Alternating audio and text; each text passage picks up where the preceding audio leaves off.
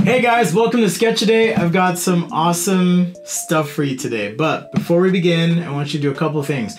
Hit subscribe, turn on alerts, check out my Instagram at sketchaday.com, and check out the website, sketchaday.com, because if you go there, you'll see a notice for a newsletter. I want you to subscribe to that newsletter because you get something awesome. You get a free how to sketch guide. Well, it's even better than that. It's a collection of things, insights that I've learned through my career that I'm sharing with you, including the materials I use, the products, and there's a how to sketch render a chair guide in that free downloadable as well. Had a brain fart.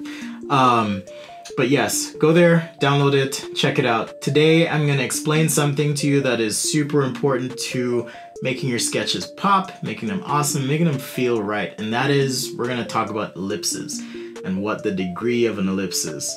So I have my handy styrofoam cup here. We're gonna use that to explain things. So let's get started.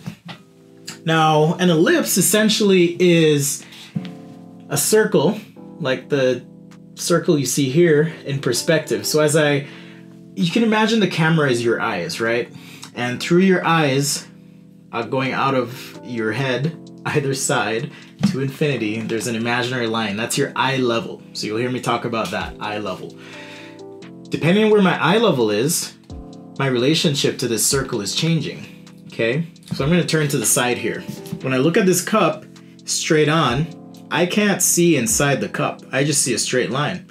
Much like the camera sees a straight line. Okay? So camera eye level.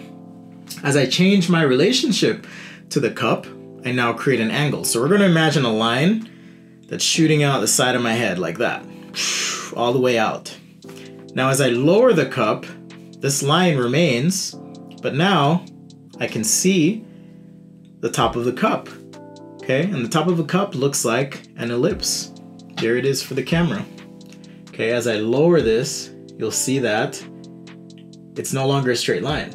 Okay, and the lower you go, the more open it gets. Or as you rotate the object, you can see more and more of the inside.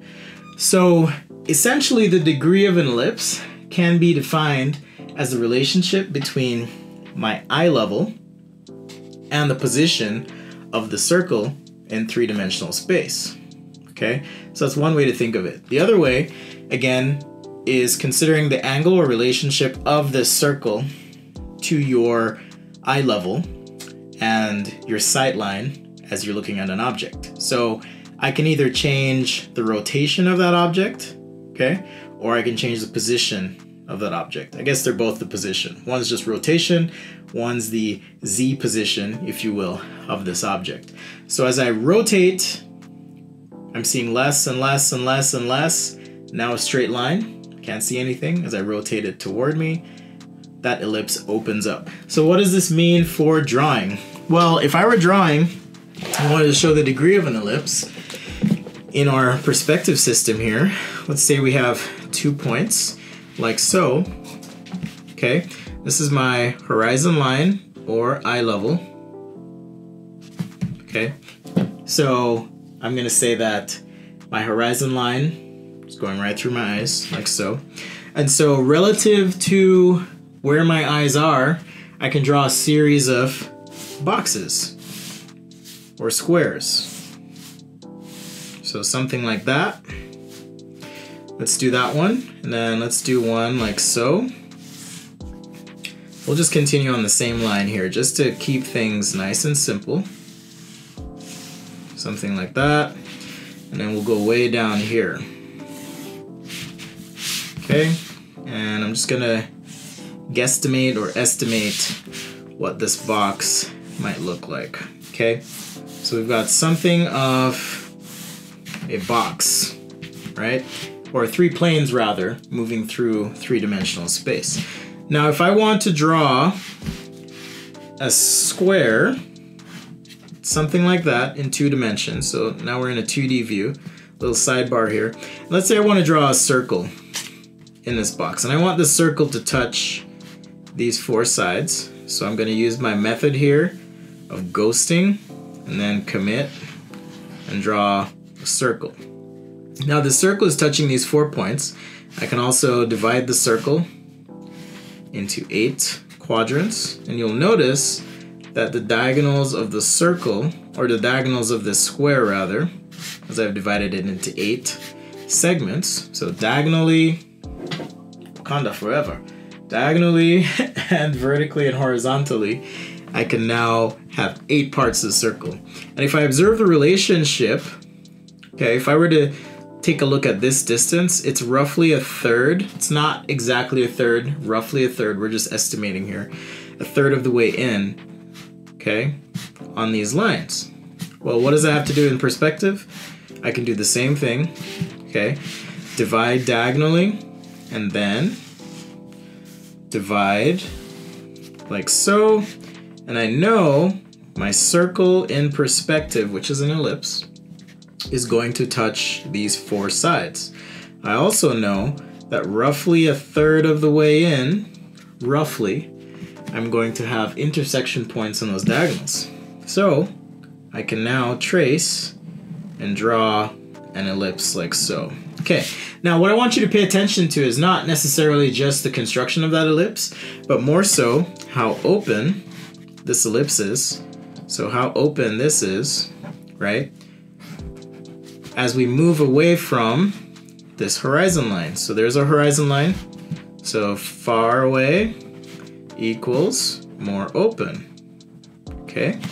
Now if we move up and we were to do the same thing, we might end up with an ellipse like this. Okay.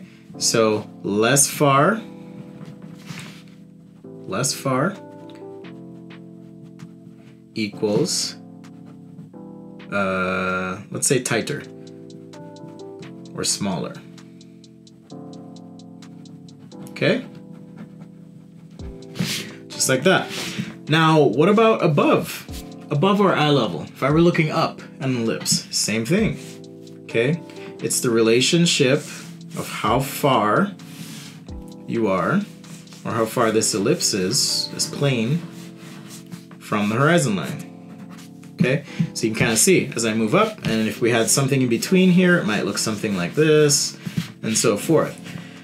And if we had something a little further away, it might open up look something more like that. So you can kind of see this is why I warm up the way I do. Now, if I were to take this and flip it vertically like so, the same thing would be true. In that, if I have a coffee cup, a styrofoam cup, and I'm looking at it dead on like this, as I move to the side, you can see the inside of that coffee cup, okay?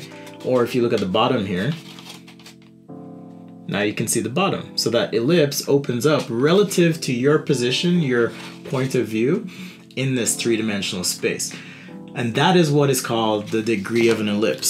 So this relationship is a certain degree, that's theta, right? So that degree, that relationship is gonna be descriptive of how open or how closed that ellipse is. Hopefully that was beneficial to you. Uh, if you've ever heard that term before, the degree of an ellipse, it kind of just clicked for me one day and I wanted to share that with you and explain it to you in a way that hopefully you can understand, but better yet, hopefully you can share with someone. So if you've learned something today, definitely subscribe, turn on those alerts, but also if you know someone who's struggling with this, be sure to share that with them. Um, be like, hey, I'm going to sit with you and explain the degree of an ellipse. And hopefully, passing it on, they'll be able to pass it on to someone else as well. I'm a big believer in giving back, so please do that if you have the opportunity to share. Thanks for watching. Thank you for subscribing, for turning on those alerts. You can also find me on Instagram at sketchaday.com. Subscribe for that newsletter. And again, I hope that you got something out of this. And thank you so much for watching and for taking the time to make it this far. We'll see you next time right here on Sketchaday.